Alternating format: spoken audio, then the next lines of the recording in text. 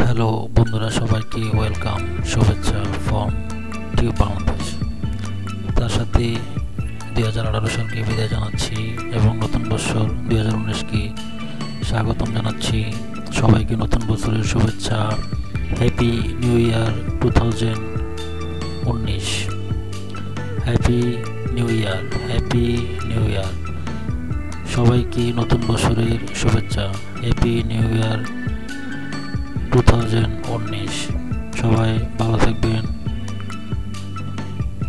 Allah happy new year two thousand সালের কি নতুনভাবে বরণ করলাম? ভালো থাকবেন।